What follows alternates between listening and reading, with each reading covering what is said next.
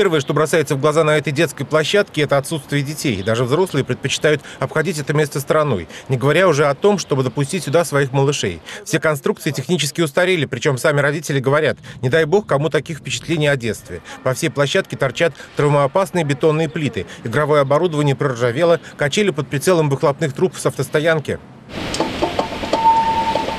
Площадка, конечно, очень устарела.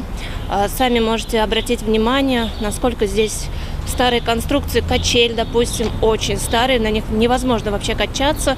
И страшно, конечно, отпускать ребенка туда. Сейчас я видела на некоторых обустроенных площадках в городе присутствуют какие-то тренажеры, э, турники те же самые, даже какие-то там педали крутить что-то можно. Это было бы тоже очень хорошо, потому что не только дети хотят да, играть здесь на площадке, но и более подрастающее поколение, они сейчас больше спортом занимаются, и поэтому было бы тоже очень кстати.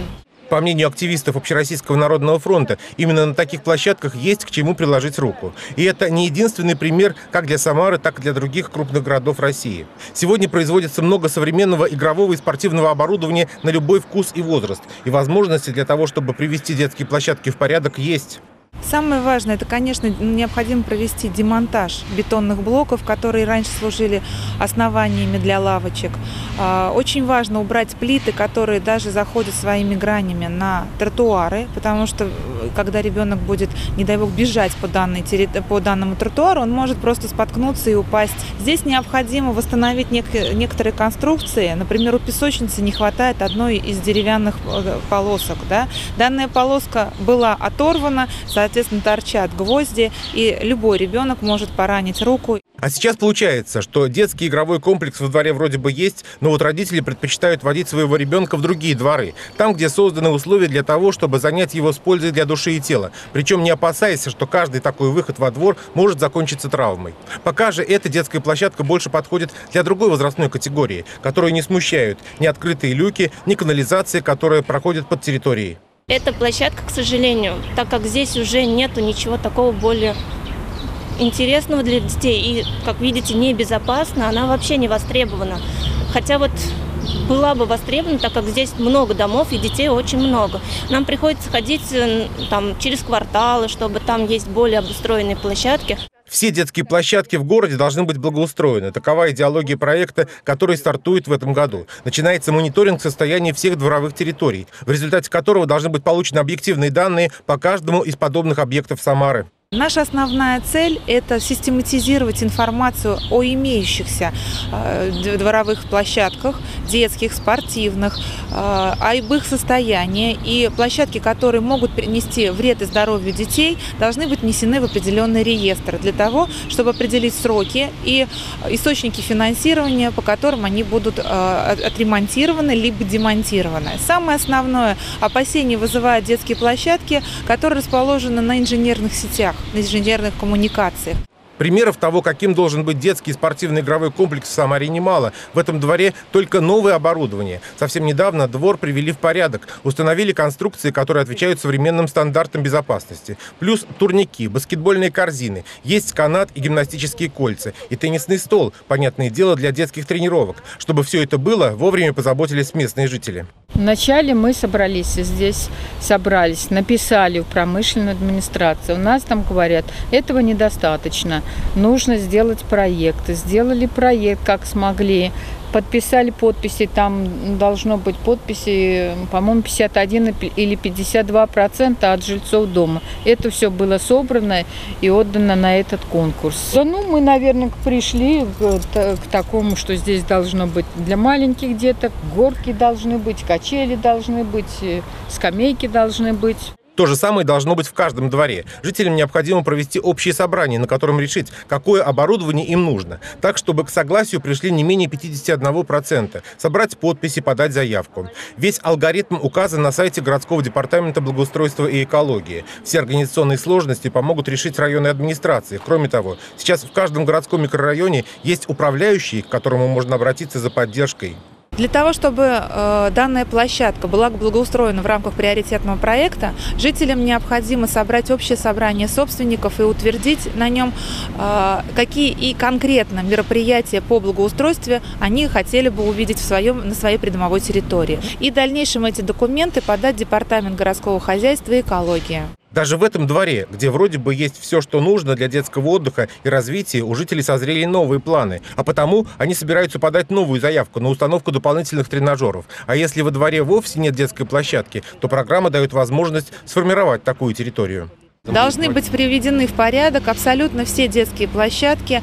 И если детскую площадку привести в порядок невозможно, отремонтировать не представляется возможным, либо очень затратно и проще ее демонтировать, э, на ее месте э, разместить новые элементы благоустройства и новую детскую площадку, то это необходимо будет сделать. Данный проект является приоритетным проектом для всех регионов Российской Федерации. Он инициирован президентом Российской Федерации Владимиром Владимировичем Путиным и беспрецедентное огромное количество денежных средств, на него выделено было 20 миллиардов рублей. Наша Самарская область получила 927 миллионов и стала одним из участников данного приоритетного проекта.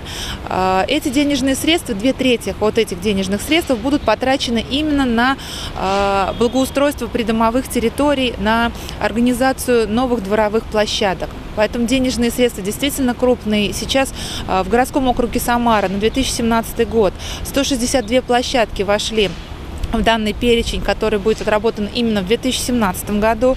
Но программа не закончится на этом. Необходимо будет подавать заявки на 2018 год, и если действительно инициатива жителей будет поддержана на общем собрании собственников. Программа рассчитана э, на 6 лет. Цветочное царство в одном отдельно взятом дворе. Вера Родионова стала выращивать цветы сразу после того, как переехала в новую квартиру. Это было больше 10 лет назад. Тогда во дворе было много садовой мальвы, которая росла сама по себе. Было решено создать настоящий цветник, который удивлял бы цветущим многообразием не только жителей дома, но и прохожих. Это получилось не сразу, но день за днем, год за годом на дворовой клумбе появлялись новые экземпляры. Надо, наверное, как-то немножечко что-то новое внести. Вот и так одно за другим один цветочек, другой цветочек. Одни друзья принесли, посадили, другие принесли, посадили. Потом так все, пошло-поехало. По словам садовода, цветы стали не просто увлечением, это ни с чем не сравнимая радость. Сначала высаживать, затем следить, как появляются первые бутоны, затем раскрывается цветок. Искусство, которое оценили не только жители этого дома, но и прохожие. Цветущие растения освежают вид, создают впечатление ухоженности. Обычно уже с середины мая клумба уже расцветает, но в этом году весна запаздывает, поэтому самый расцвет ожидается в начале июня. В основном многолетники. Сажаю многолетники, потому что с ними проще в уходе. Они не требуют таких трудозатрат. И очень благодарные цветы. Пионы, ирисы, бадан, гейхера, вот туи у нас есть. Рябиник просто красиво в городе, красиво около своего подъезда. Даже люди проходят и говорят, у вас лучший подъезд. Цветочных дел мастерам «Зеленый свет». И это надолго. В городе реализуется программа «Цветущая Самара». С каждым годом газонов и клумб становится все больше. Задача такова, чтобы каждый участок городской земли был украшен цветами. В том числе и внутри дворовые территории. Каждому, кто готов поддержать почин городской власти, готовы помочь. К примеру, в этом году впервые в администрации Октябрьского района принято решение выдавать материал доморощенным флористам. Администрация района всегда поддерживает активных жителей, выступает за озеленение, облагораживание территорий. Активным жителям в этом году администрация Октябрьского Дрогерского района планирует раздать около 3000 цветов. Для этого жителям необходимо будет обратиться в администрацию района с просьбой э, выделить цветочную рассаду. Мы рассматриваем все заявки, мы выйдем на место, э, жители должны показать, где они хотят посадить э, те или иные цветы, которые мы им выделим. Есть во дворах э, люди, которые очень активно работают с администрацией района. Это старший по дому, там старший по кварталу. И этим людям мы уже готовы выделить цветы для того, чтобы они посадили у себя во дворе их. Чем больше цветов будет высажено в Самаре, тем более статусно будет выглядеть город, в том числе и в глазах гостей. В 2018 году Самара будет принимать игры мирового футбольного первенства, а это прежде всего способ заявить о себе на весь мир. А это значит, что любая инициатива со стороны горожан приветствуется. В этом году администрация Октябрьского района заключила контракт на покупку 17 видов цветов. Это несколько видов э, бархатцев, несколько видов петуний, э, агератум, э, сальвия, полный перечень цветов, которые э, возможно предоставить администрация, они находятся в администрации района. Может, любой житель может позвонить, спросить, какие цветы администрация района может выделить. Всего 17 видов цветов. То есть каждому, кто выращивает цветы в своем дворе, самое время обращаться за поддержкой. Наталья Малерчук не менее часа в день посвящает цветам, хотя признается, что эта клумба создавалась всем миром. Многие жители помогали рассадой. Кто-то от соседей по даче привозил, кто-то помог с семенами. А сегодня цветоводство обозначено как дело особой важности. Цветы радуют глаз, то есть это как, как праздник, ассоциируется с праздником, красиво. Люди не так э, мусорят, Здесь дети у нас гуляют с колясками мамы, останавливаются, смотрят, цветочки нюхают. То есть э, ну, для души, для, для радости и для красоты. А задачи на будущее, чтобы весь город стал цветущим, и в каждом дворе были свои мастера-садовники, способные создать красоту, которую, по слову известного классика, спасет мир.